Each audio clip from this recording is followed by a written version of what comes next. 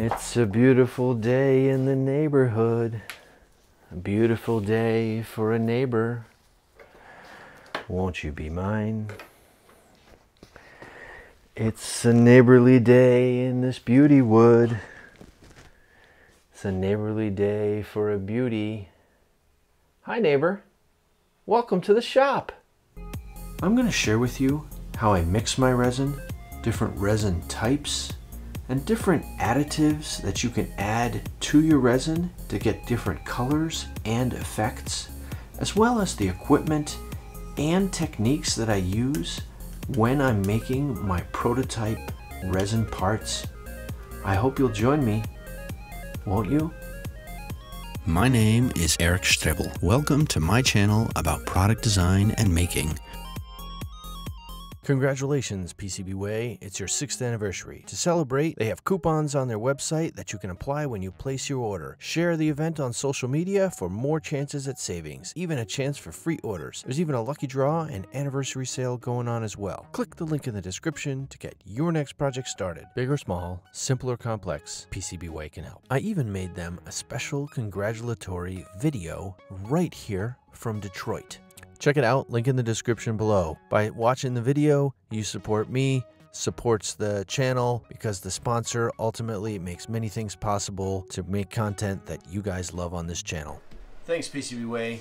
Congratulations on your sixth anniversary. In the world of polyurethane resins, you'll find two types, opaque and clear. An example of opaque resin would be a 3070 from Rampf, two parts, comes like this kind of a yellow mixture and kind of a white. You mix them up and they ultimately turn into a white. You'll get a part that's like this. White, opaque, a little translucent, but basically you can't see through it. Clear resin will obviously be clear. This is an example of simple resins, clear part A and part B. You'll end up with parts that are transparent. Basically, you can see through them. You can also tint them, get transparent, translucent, or even opaque with a clear resin. Most resins also come in different durometers, meaning they have different hardnesses or flexibility. Most of the resin that we're going to cover today is all going to be hard resins, like a Shore 70 resin, so pretty rigid not flexible like this, but flexible ones do exist. Let's take a look at some of the equipment that I use to get good results when I'm casting with urethane resins. All right, let's take a look at my resin casting station. On the left is a vacuum tank, on the right is a pressure pot, and below that is a bigger pressure pot. Let's start with the vacuum chamber on the left. It's a three gallon unit, allows me to put my resin in there after I've mixed it and remove the air bubbles. To do that, I use a 10 cubic feet per minute vacuum pump with a carbon filter block on the top and of course a little Yoda topper. I will link to this in the description below. On the right, we have a two and a half gallon heated pressure pot. You must have a pressure pot to cast clear parts and sometimes to get good quality regular cast parts. It is essential to have that. I pressurize that pot with a 15 gallon ultra quiet homemade air compressor and I have a video about that. And I also have a 10 gallon larger pressure tank for bigger projects. Let's mix up some polyurethane resin and make some sample parts, shall we? You will need yourself an excellent two digit kitchen scale, meaning you need to be able to measure to two tenths of a gram when you're mixing this.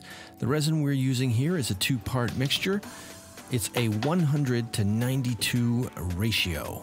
Different resins will have different mixing ratios, sometimes one to one, who knows. It is important to get this correct so that your resin sets up and is not too soft.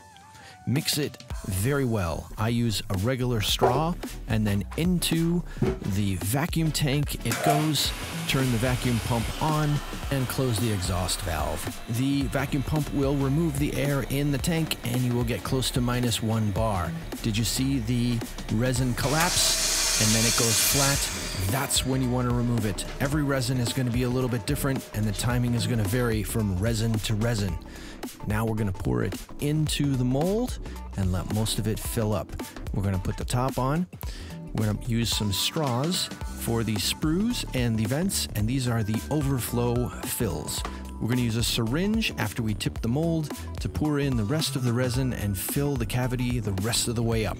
I add a weight, and after a couple hours, I'm able to demold and get a nice resin urethane part.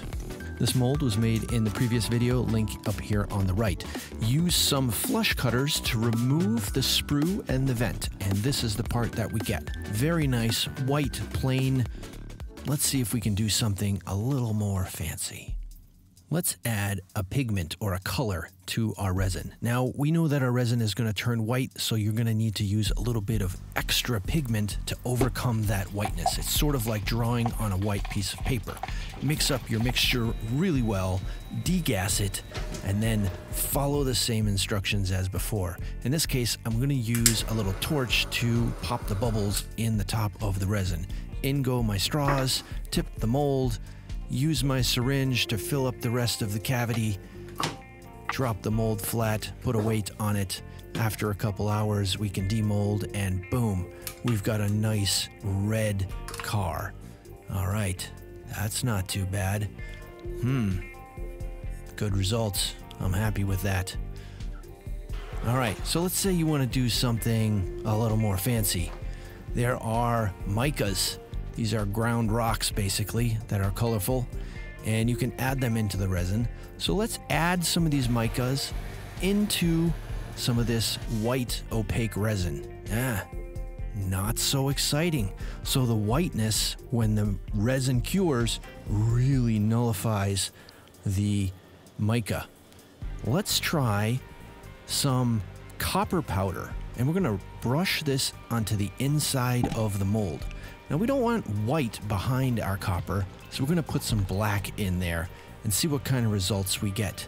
Degas, pour it into the mold, pop the bubbles, backfill the rest of the way with the syringe, and you can see these overflows, how they fill up. That al allows the mold to fully fill. Mmm, blotchy. Not really great results. Don't like that. Let's try something else. I want to make this copper, so let's add the copper into some clear resin and see what kind of results that we get. Same process, fill with the syringe, cut off, chocolate. Well, that's not what I want. All right, let's go back to the micas and use an Arteza copper. I will link to that pack in the description below. And we're going to add this copper mica to clear. And that is hopefully going to give us the results that we want when we think of what copper color actually is for our little part. Now I'm going to slush cast this, meaning I'm pouring it into the mold sort of open face. I don't want to mix all that resin in the mica, so I backfill it with black and I get these beautiful results Here's another part. This is a top of a cap. And you get a really nice sort of copper. So the left is the chocolate with the copper powder, the right is the mica.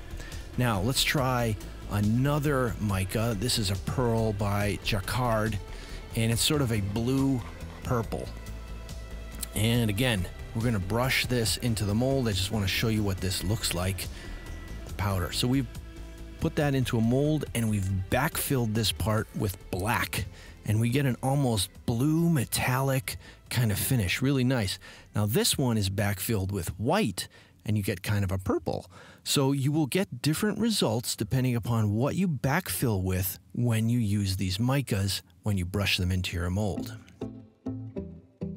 You say, Eric, you have this clear resin. Let's make a clear part. All right, let's do that.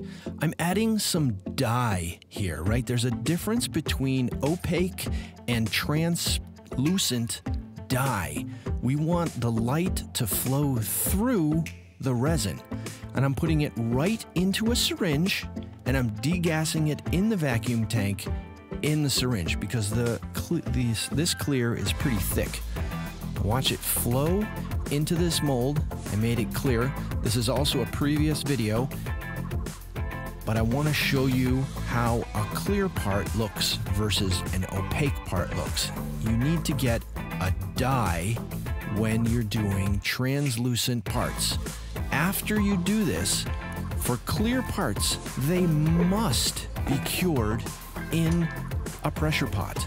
To 60 psi is what we pressurize this pot to.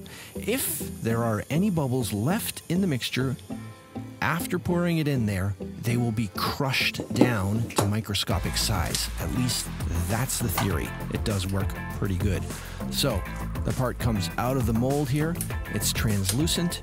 You can kind of see that, shiny, and that is how you make a translucent part. We'll make a clear part using the same resin, but obviously without a pigment. And this will give you a clear part, but you must have a pressure pot. That was a basic fundamental overview of resin casting along with the equipment and techniques that I use every day in my industrial design practice to make prototype polyurethane parts. If you're new to the channel, don't forget to subscribe and like and hit the bell to get notifications so you don't miss any of my future upcoming videos. Thanks for watching, friends. Have a great day in the neighborhood. Make sure you give the video a thumbs up and don't forget to subscribe if you haven't already done so. Don't forget to follow me on social media. I'm on Facebook, Twitter, and Instagram. Rock on. Click here to check out some of the other design and making videos that I have that you might enjoy.